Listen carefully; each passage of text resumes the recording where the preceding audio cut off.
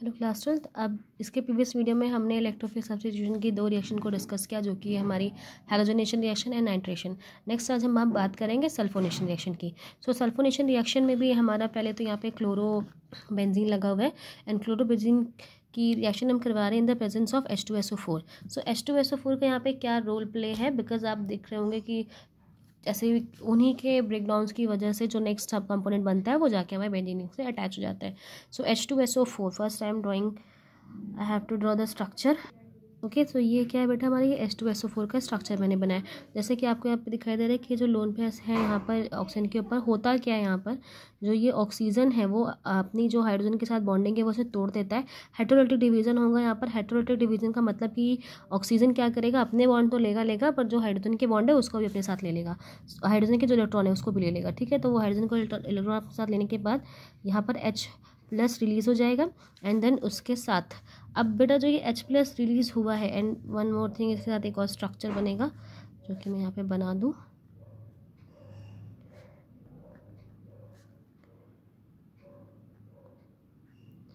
ठीक है? सो एक ऐसा स्ट्रक्चर यहाँ पे बन गया साथ में। बट अब जैसे कि हम बात कर रहे हैं कि हमने concert H two S O four को यूज़ किया है सो so ये एच प्लस क्या करेगा बेटा? दूसरे H two S O four के मॉलिक्यूल के ऊपर जाएगा एंड वहाँ का जो ऑक्सीजन है, उस पर जाके वो अटैक करेगा। ठीक है? अगर इससे प्रीवियस वीडियो आपने देखा होगा तो वहाँ पर क्या हुआ था? एच एन ओ थ्री जो वहाँ पर ऑक्सीजन है एच थ्री में वो एक लोन पेयर की तरह मौजूद था और हाइड्रोजन ने जाके उस पर अटैक कर दिया था, ठीक है? बिकॉज़ इस टाइम बेटा हाइड्रोजन क्या उसके पास कोई इलेक्ट्रॉन नहीं है सो वो शेयरिंग करना चाहता है तो ऐसे लोन पेयर को लेता है। लोन पेयर को लेने के जैसे एक इलेक्ट्रॉन वो ले लेगा, एक उसके जो नेक्स्ट ऑक्सीजन है, उसके बाद वो बॉन्डिंग बनाते हैं राइट सो लेकिन यहाँ पर सिर्फ़ हम एस का यूज़ कर रहे हैं। तो पहले ऑक्सीजन और उसके बीच के बॉन्ड ब्रेक हो जाते हैं हाइड्रोलिटिक डिवीज़न एच प्लस अलग एच प्लस उसी के मॉलिक्यूल एस के दूसरे मॉलिक्यूल के ऊपर जाकर अटैक करता है। जब वो इस पर अटैक करेगा। सो so, वो किस पर रिएक्शन कर लेगा? इस लोन पर इलेक्ट्रॉन ऑक्सीजन के साथ वो रिएक्शन कर लेता है। And then they will form okay और ये जो लोन पेयर बिकॉज़ ऑक्सीजन ने अपने लोन पेयर भी उसको दिए, तभी जाकर वो रिएक्शन बॉन्ड बन पाया। जिसकी वजह से यहाँ पर क्या होता है ऑक्सीजन के ऊपर प्लस चार्ज आ जाते हैं। अब ऑक्सीजन अपने आप को बहुत अनकंफर्टेबल फील कर रहा होगा तो वो क्या करता है, अपने एस के साथ के बॉन्ड को वहाँ पर तोड़ लेता है। एंड जो उसको भी उसने ऑक्सीजन अपने इलेक्ट्रॉन दिए थे, उनको वो वापस लेता है। तो जब वो ऐसा कर लेता है यहाँ पर then it will form S double one O H and यहाँ पर क्या आ जाएगा बेटा, यहाँ पर एक पॉजिटिव चार्ज आ जाएगा। ये ओ विथ साथ में नो प्रॉब्लम तो यहाँ पर एक पॉजिटिव चार्ज आ जाता है तो ये हमारा आपका क्या बन गया? एस ओ थ्री एच बन जाता है। अब ये जो एस ओ थ्री एच है ये कैसे यूज़ कर, बिहेव करेगा? एज ए इलेक्ट्रोफाइल ये बिहेव करेगा एंड जाके रिएक्शन कर लेगा विथ अवर क्लोरो क्लोरोबेंजिन के साथ। एंड अगेन दो प्रोडक्ट बनेंगे एक मेजर में एंड एक माइनर में।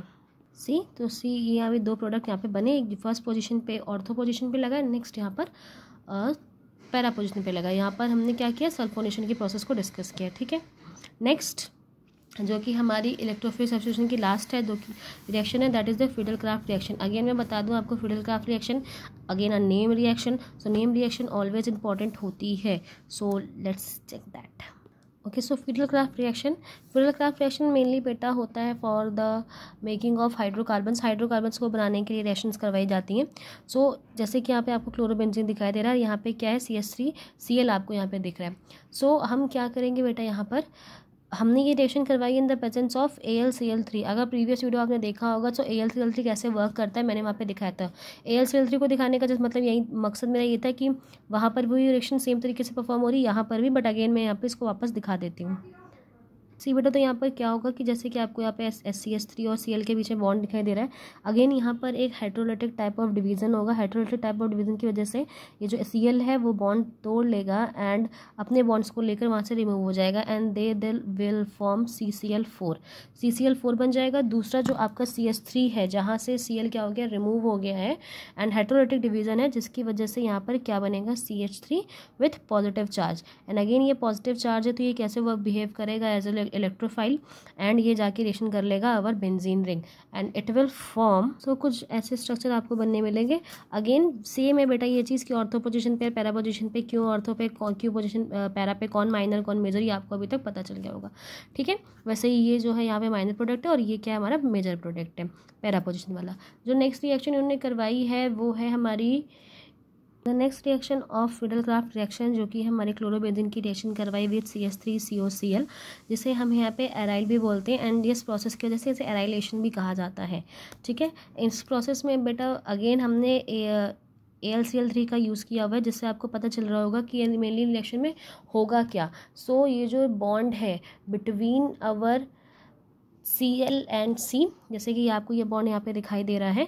ये बॉन्ड क्या हो जाएगा बेटा? ब्रेक हो जाएगा, यहाँ पे हेट्रोलिटिक डिवीज़न हो जाएगा एंड वो सी एल जाके किससे जुड़ जाएगा? हमारे C A L C L four three से जुड़ जाएगा and they will form A L C L four and जो लास्ट में बचेगा वो क्या होगा? C S three C double bond O and way plus positive charge and ये जो यहाँ पर सब्सटेंस बनेगा they will join at the benzene ring ठीक है? सो इस तरीके से जो यहाँ पे C S three C double bond positive charge पड़ा था वो जाके ऑर्थो पोजिशन पे पैरा पोजिशन पे अटैच हो जाता है। ऑर्थो पोजिशन पे जो होगा वो मेजर माइनर होगा और जो पैरा पोजिशन पे है वो मेजर होगा। ठीक है बेटा? सो यहाँ पर सो so, जो आपने फिडल क्राफ्ट में जो दो रिएक्शन देखी है बेटा इस जो ऊपर वाली रिएक्शन है वहाँ पर आप देख रहे हैं कि अल्काइल ग्रुप एक है वो अल्काइल ग्रुप आकर अटैच हो रहा है यहाँ पर जिससे ये जो स्ट्रक्चर बना है इसे हम टॉयलिन भी कहते हैं।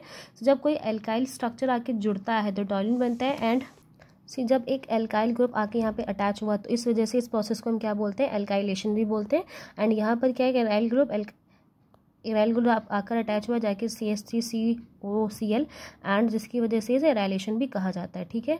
ये दोनों ही फिडल क्राफ्ट रिएक्शन थी, जिसमें A L C L three क्या होता है? बेटा, टूट जाता है they will form so sorry A L C L three को यूज़ किया गया है एज अ कैटालिस्ट एंड जो कि जो भी यहाँ पर सब्सटेंस यूज़ किया जाता है, उसमें क्लोरीन सब्सटेंस टूट कर जो A L C L three के साथ ज्वाइन हो जाता है, ठीक है?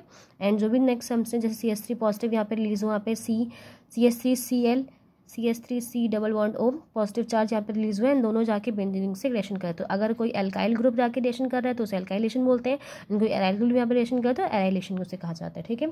सो फिडल क्राफ्ट रिएक्शन है। उसके ऊपर आपने सल्फोनेशन देखी। तो ये चार रिएक्शन थी आपके इलेक्ट्रोफिलिक सब्सटीट्यूशन रिएक्शन रिएक्शन कैसे होती हैं? आपको प्रोडक्ट्स तो यहाँ पे बहुत ईजिली समझ में आ गए होंगे। जो भी जो भी प्रोडक्ट बनेगा, वो या तो ऑर्थो पोजिशन पे होगा तो पैरा पोजिशन पे होगा। वैसे आई थिंक कहने से इतनी इतनी पूछी नहीं जाती कि कैसे, कौन सा रिएक्शन टूटा क्या बना? बट uh, फिर भी यहाँ पे आपको समझाया आई होप सो आपको समझ में आई होगी।